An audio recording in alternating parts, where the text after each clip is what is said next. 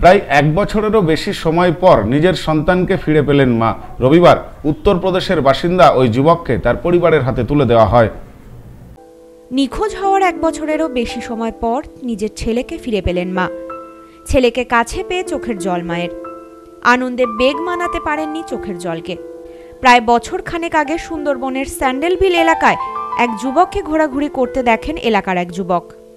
অসহায় অবস্থায় ওই যুবককে নিজের বাড়িতে নিয়ে যায় সে। মানসিকভাবে অসুস্থ থাকায় বাড়ির ঠিকানা বলতে পারেনি।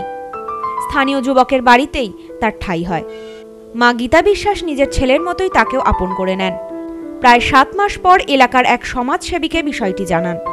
তার চেষ্টাতেই যুবকের পরিবারের খোঁজ শুরু হয়। জানা যায়, উত্তরপ্রদেশের বাসিন্দা ওই যুবক। সোশ্যাল মিডিয়ার সাহায্যে যুবকের বাড়ির সন্ধান মেলে। এরপরেই তার বাবা, মা ও ভাই গীতা বিশ্বাসের পরিবারের সঙ্গে যোগাযোগ করেন। রবিবার পরিবারের লোকেরা তাকে বাড়ির উদ্দেশ্যে নিয়ে যান।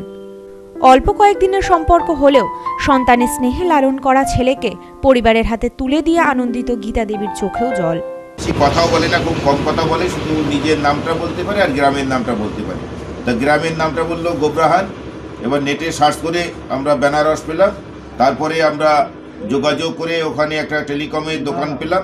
সেখানে ফোন করে তাদের বাড়িতে খবর দিতে বলি এবং তারা তাদের বাড়িতে খবর দেয়। তার বাড়ির সঙ্গে এরপরে যোগাযোগ হয়।